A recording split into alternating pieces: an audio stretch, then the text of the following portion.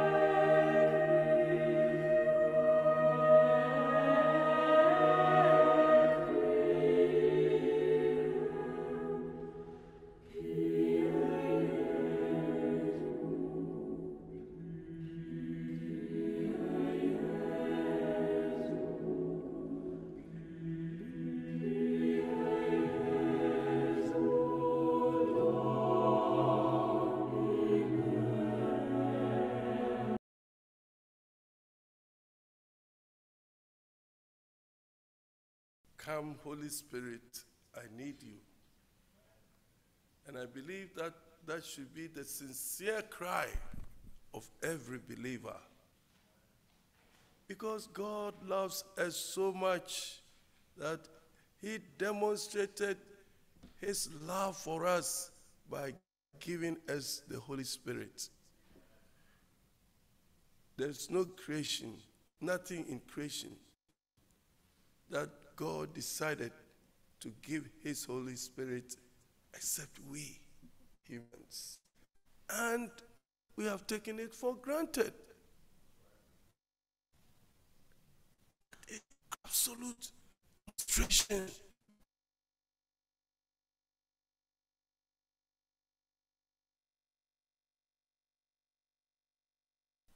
Everything we do and begin to see who this Holy Spirit is. Pray, come, Holy Spirit. I need you. And come in your own gentle way. Let us pray. Gracious and loving God, I want to thank you that we gather again to hear your word. Lord, I don't want to speak to your people my words. No, no, no, I have nothing. But what I pray is that, Lord, use everything I have to communicate to your people what will lift them up, what will encourage them, what will make them desire for the Holy Spirit, because you want to bond with them through the Holy Ghost through the Holy Spirit. And let it be so.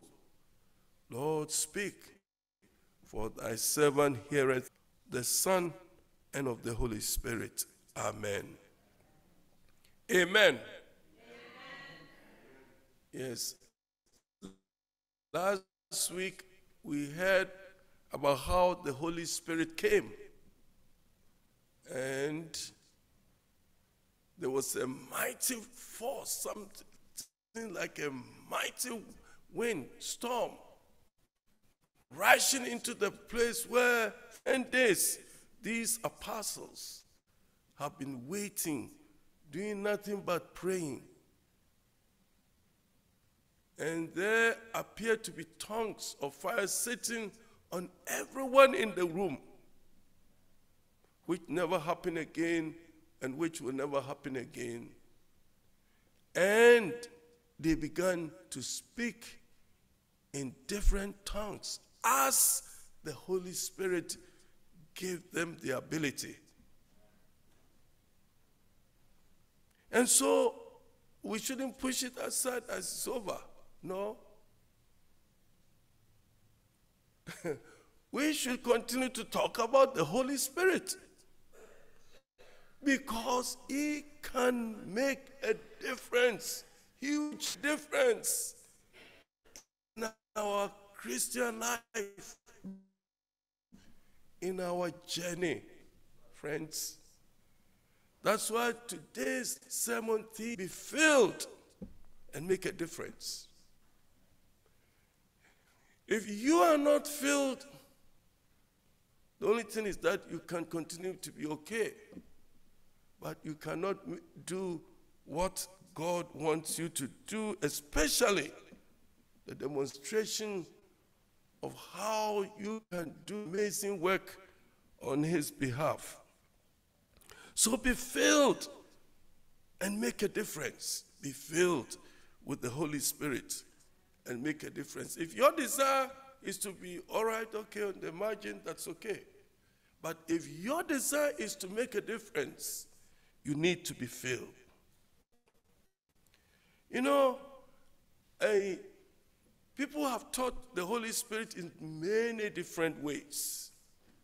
And especially when it comes to the subject that of baptism of the Holy Spirit, the people explain it differently.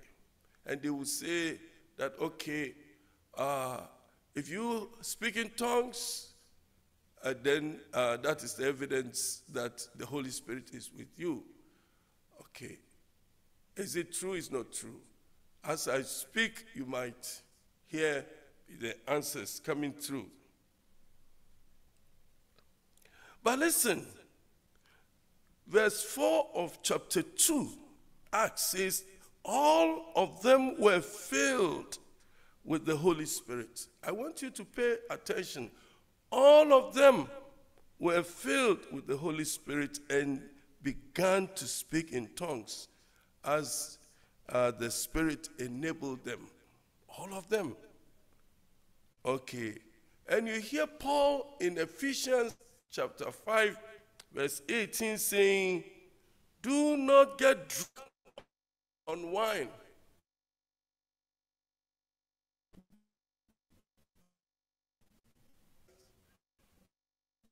Useless things. Instead,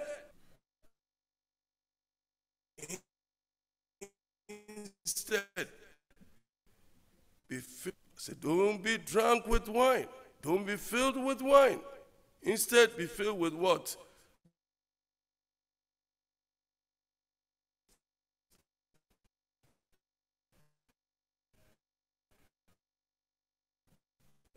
When I remember the very first, I was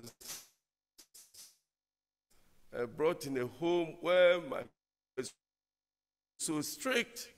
Even go through certain, listen, very strict. Method is very strict. And so I remember that when I was in the boarding house, secondary school, I took a little local and became like fire through my eyes and, and my nose. That's what I remember, okay. But years after that, I was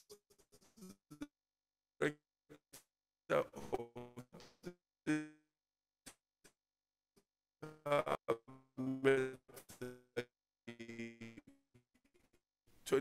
you know, Christmas, you know, service was beautiful, I remember. And then we finished. There was a very noble man who was headmaster of a school, a boarding school uh, in the town. He took me to his house. We were living in the same compound. And he brought a brandy on the table. And he brought Coke. And he said, try to mix and drink this brandy. Something come to my mind that You never got drunk before. Why not try today? So I said, I don't need the cook. so I took the glass, fill it, and I drank it. When I drank it, all I knew is that I still could see people going, everything. It's just that my conversation, I want to speak faster, things like that.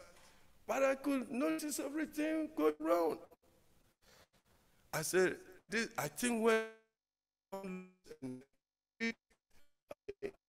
uh, I don't, I don't think I'm there. I took a second glass. Huh. And it just only got faster, but I saw, I thought I could see everything. So just before I left, I took a third glass. And so the man I'm leaving, he took me home, made sure I was inside my room, and then he, he went back to his house. So I'm in my house and I said, I don't remember I ate the, the, when, the whole afternoon, evening. So I ate some food and I went to sleep. Maybe barely an hour after, oh my goodness. I will never forget this experience. I am throwing up and severe headache. And there is a foul smell I, can, I, I could never forget for years. Headache. I, every three hours, I was taking paracetamol or Tylenol version here. I couldn't go to church, and they were praying the church. Look at what the devil did. Oh, they didn't know I drank, I drank some brandy. look at what the devil did. After all this beautiful service, look at what the devil has gone to strike this man. And I, believe me, it was my most miserable day. Most awful. Somewhere around 3 p.m. that day, I saw that the pain was now beginning to come down. So I went to the house again. Somebody came, and the man offered him the same remain of the drink. He took just a little. I said, Won't you add? He said, No. Are you serious?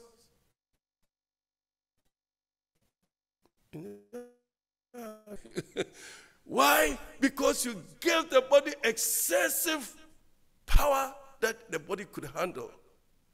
And from that day, I knew what it means to be drunk or to be filled with wine. And so when Paul says that, ha, ha, ha, don't do that, rather be filled with the Holy Spirit, it becomes so clear to me.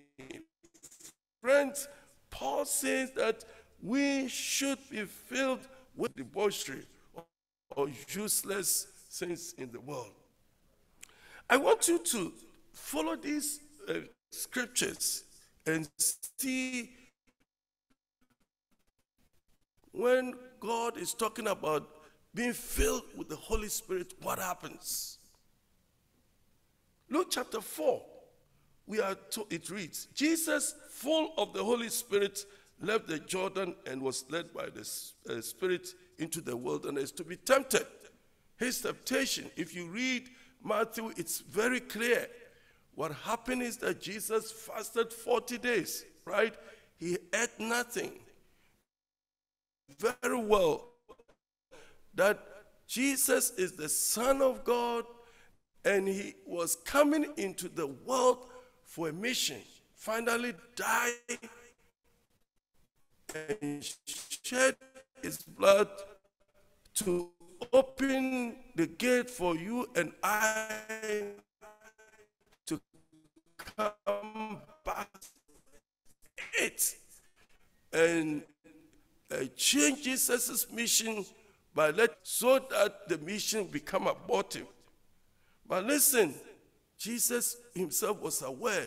He fasted 40 days full of the Holy Spirit, and the devil came to tempt him, overcame all the three temptations. Now, I asked myself if he was not full of the Holy Spirit, could he have uh, stood the test? All right. Jesus being Jesus, I don't know. But you see, he was seen, he was full human being like you and I. And he was so, also fully God. But I don't know what could have happened. This is an example to show us why it is important to be full of the Holy Spirit. But the truth is this if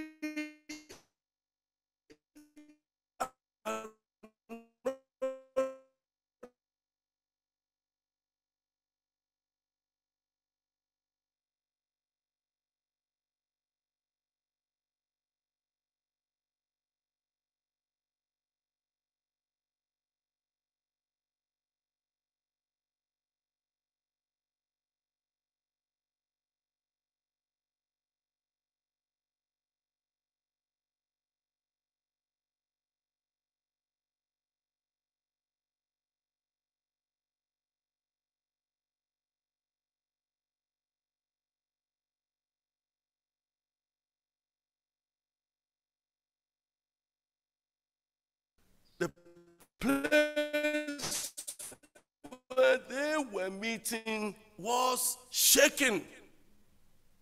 And they were all filled with the Holy Spirit and spoke the word of God boldly. Are you seeing that every situation you are coming to see, they were full of the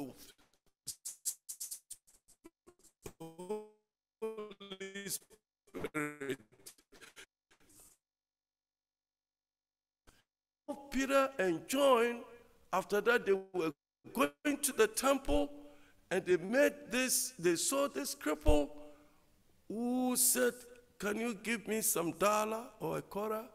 I need a dollar, a dollar or quarter, right? And said, We don't have dollar, we don't have quarter. What we have, we will give you in the name of Jesus. Rise up. And he woke, uh, rose up and a great work has been done.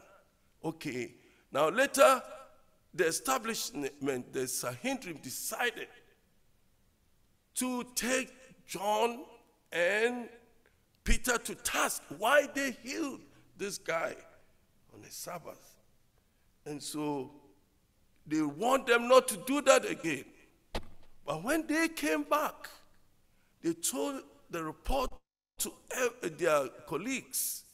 They prayed, and we are told that the place shook and the fall of the Holy Spirit. Friends, attention. Anytime we are full of the Holy Spirit, anytime we are being filled with the Holy Spirit, we can make a difference. Some great works followed all right. The last one I want to show you because I can go on and on is in Acts chapter 13, verse 9. Then Saul, who was also called Paul, filled with the Holy Spirit. What was going on? The story behind it says that Paul and Barnabas has started going into uh, the uh, Gentile world on a mission, trying to bring Christ, this new faith, to the Gentiles. They came to a, an island in Paphos, okay? There was a man called Sergius Paulus. He's uh, say the governor, he wanted to hear, invited Paul uh, and Barnabas to come and tell them about Jesus they were preaching about.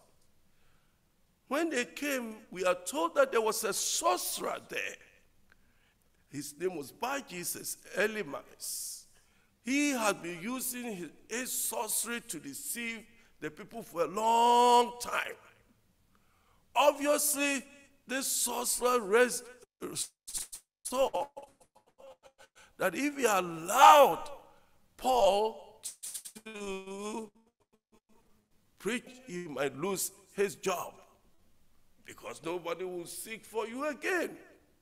So he tried to obstruct Paul uh, from, from, from getting to the governor to preach to the governor. And now, Paul didn't like that. So, Saul, who was also called Paul, filled with the Holy Spirit, looked straight at Elymas and said, You are a child of the devil and an enemy of everything that is right. You are full of all kinds of deceit and trickery. Will you never stop perverting the right way of the Lord? Against you, you are going to be blind for a time, not even able to see the light of the sun. And immediately, Elymas got blind. Now, I want you to notice that anytime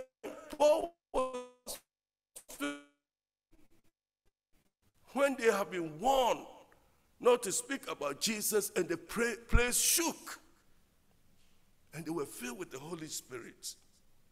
All right. And the day of Pentecost, they were full. And Jesus, before he began his mission, after he fasted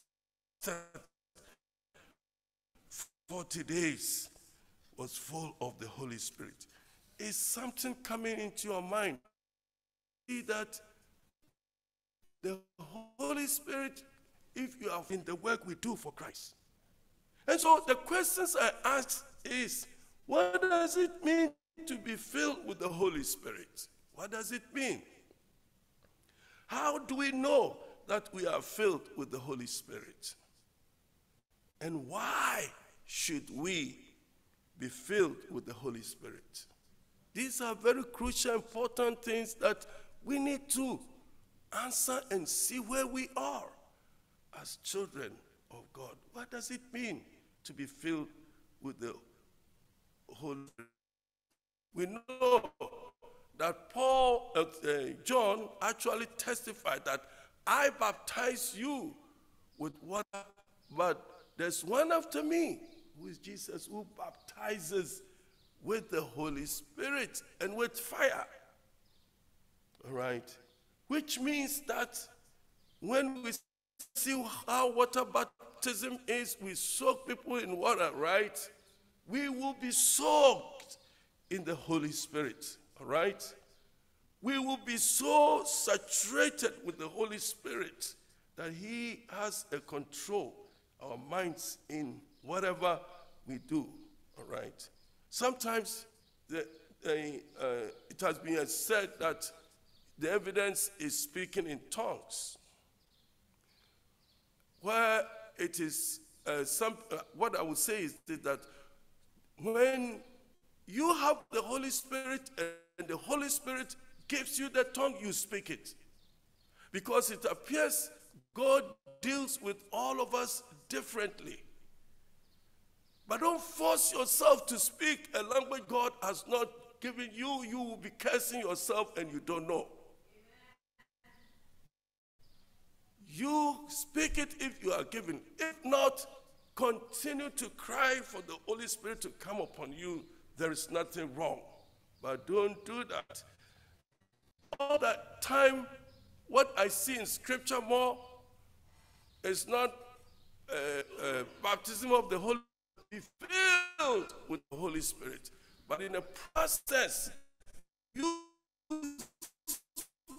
speak don't speak it because it's God who be filled, be filled, be filled, friends. It means that you surrender your life to Jesus. At the moment we receive Christ, we surrender and receive Christ, we have the Holy Spirit.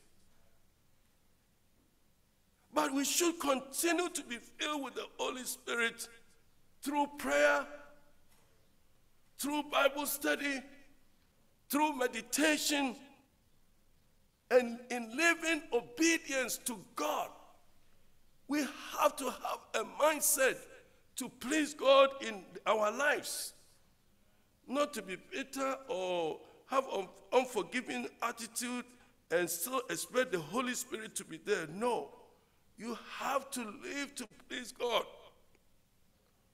Through fasting, too, fasting and prayer, the Holy Spirit comes. The Holy Spirit fills. If it's automatic, this is where I want everybody get clear because uh, very often you hear people teaching it in, in different ways. If after we receive Jesus and we have the Holy Spirit, if it's automatic, Paul will not say, Spirit, be, uh, don't be filled with wine, instead, be filled with the Holy Spirit. It's a continuous process. This is what uh, uh, John Wesley called sanctification. It's a process. You have to continue. You don't have to. Just imagine uh, you have an experience, you have the Holy Spirit, so you have the Holy Spirit, you get into the bus, and you are cursing somebody. Uh, is the Holy Spirit there? I don't know. you see, the Holy Spirit, when He fills you, your heart will be full of love toward everyone, not some, not others. You will be a peacemaker. Sometimes this infilling is for heavy duty work. It's heavy duty work. You see, why do you think that the Holy Spirit, God gives you the Holy Spirit to sit in your room and then, of course, when you receive Jesus, you have the Holy Spirit. Why is it that He's going to give you this awesome, overflowing uh, anointing, and then you are sitting in your room watching TV? So, basically, you to know that when you have Jesus, you have the Holy Spirit. No doubt about it. But for heavy duty work, this infilling is to make us sensitive that people are lost in the world without Jesus, without hope. We are to go tell them and bring them to Jesus. We are to make sure that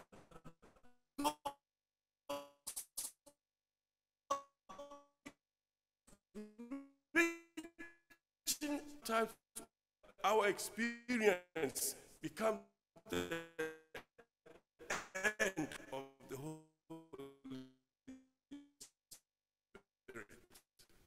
Which is where I don't want to be there again.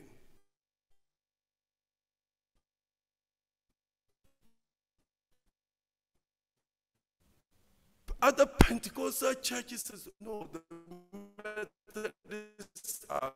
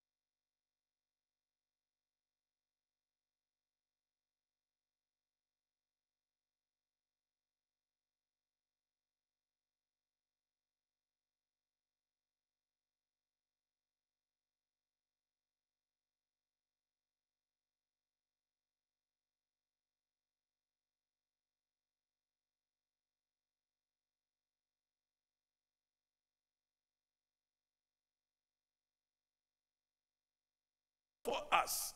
He is the one who will make a difference in our lives if we, we, we are filled with the Holy Spirit. And so the Methodist camp meetings, five days of prayer, of fasting, the preachers coming, going, then the Holy Spirit will fall and people speak in tongues and miracles happen. These days, we don't do it anymore, and so, especially, and here I don't know when the camp meetings stopped.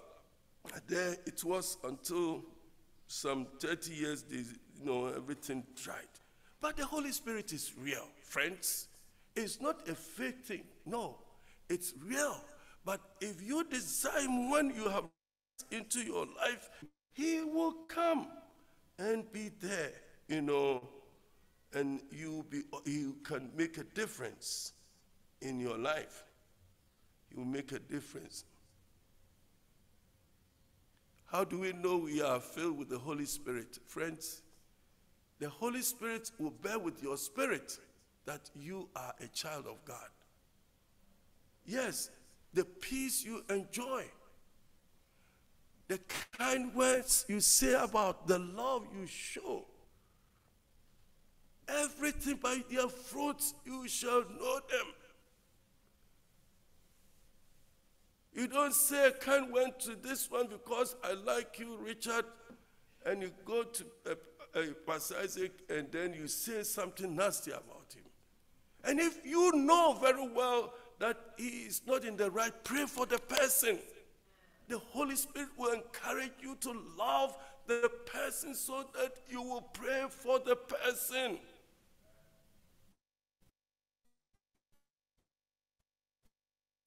Because the Holy Spirit, when He comes, to make sure that God's love is demonstrated among us.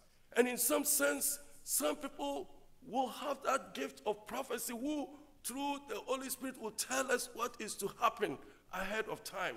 That will be one uh, to make sure that we do what we should do to avoid a disaster or something. Or that this is going to be great, and we pray and we work. Holy Spirit can give some of us the gift of seeing, see visions. Okay, these are all works, preachers, teachers, and all kinds of. The Holy Spirit does us. We can do amazing things. We can make a difference in the world. So, the greater desire of every believer is to be filled with the Holy Spirit because if you do that, you will be amazed what you can do for the Lord. And why should we be filled? One thing I will tell you is that if we want to enter the world of supernatural, that things that are beyond us is happening, then we need the Holy Spirit to do that. Else, everything we know, we can fix ourselves. The Holy Spirit is to take us from this physical world into the supernatural, so we can and cannot do. Believers are not yet for the Holy Spirit? Why are we not desiring Him? We're not craving to have Him because God's perfect gift to us to help us in everything. I don't care what situation you are in, whether maybe you are in debt, whether you have a sickness that cannot uh, uh, go away, a challenge, or problem in your workplace, whatever it is that is a burden on you, the Holy Spirit can help you, my friend, my brother. He can help you. He can make a lot of difference. So uh, it is when you have challenges you can't fix that you need to get into supernatural that it can change. And that's why the Holy Spirit is there. Listen, if you come to me, if, if you are in debt, you come to me, you think I'm going to sell my car and give the money to you? No, I have nothing. So don't, don't come to me thinking that I will give, bring you money, right? Neither do I. Or maybe uh, Debbie is so wealthy when make my face, you can give me some money. No, I know she wouldn't do it either, and none of you will do it either. But trust the Holy Spirit. Trust Him. Believe He does all. This week, uh, when we were on prayer line and Brother Julian shared a story, and it reminded me some experience I had to go through when I was in John Wesley. One day, the secretary showed me a check, a, a, a mail that, you know, water almost destroyed it. A check of $10,000. What? Come on, sit down, write, write a, a, a appreciation letter. Let me, I'm going, I'm not mailing it. I'm going to the house to put it there. If I can get a person. So I went to I went to the house, right? And then I knock, knock, and I slip it on the entry card, my phone number, everything. I want to see you. I never saw anything like that. So I I didn't hear anything for about three weeks. All of a sudden, I got a strange call. Hey, I'm the one who gave you the $10,000. Can we meet and have lunch? We did have a, we did meet, have the lunch. He invited me to the house. He was ordinary person. I didn't see anything like he has a gold suit or something, or his, his carpet in the room was gold, nothing. I thought I had things in my house more than him. And I asked him, How come you signed for us $10,000? I said, hmm, Let me tell you something. When God, get hold you of you to do something, you can't run away. He said, We're in a neighborhood, we wanted a chapel, a church to enter to go pray. Everywhere we went, the church was locked. And guess what? The Holy Spirit said to me clearly, Go to John Wesley. He said he didn't even know where, where John Wesley is. Never heard of John Wesley him until he came to mm, help. I, I, I still don't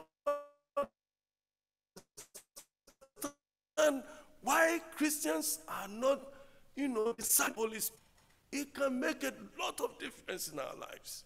So what happened is this that he rang the bell and then the secretary came.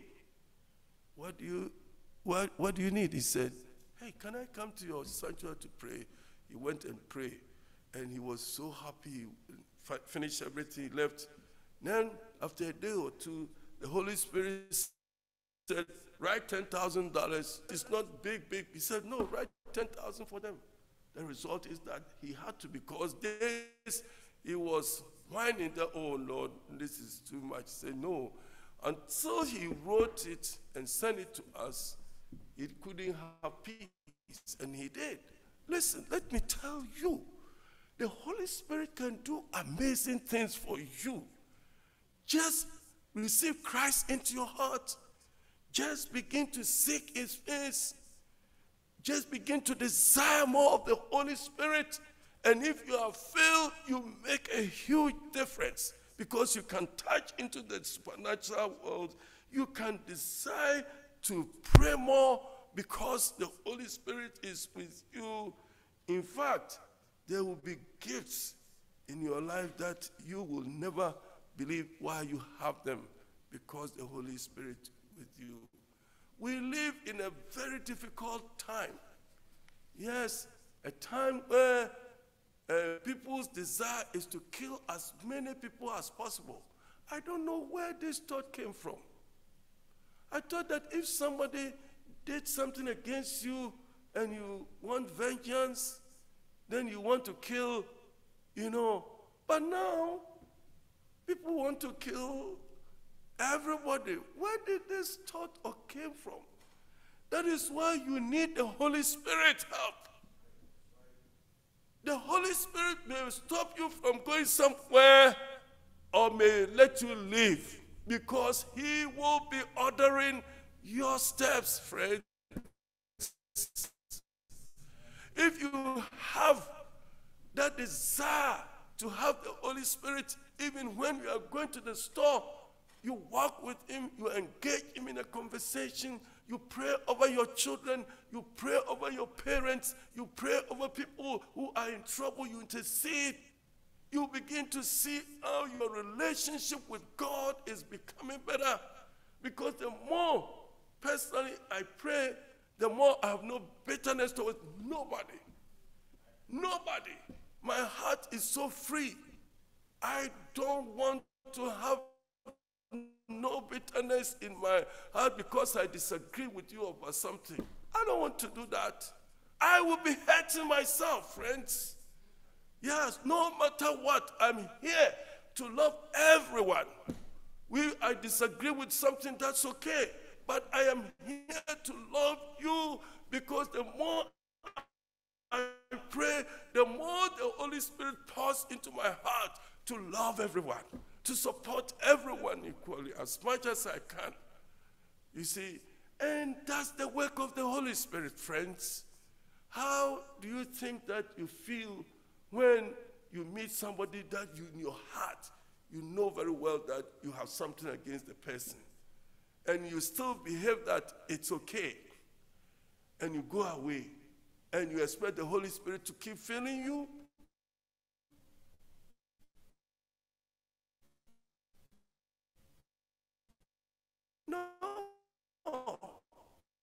To use you.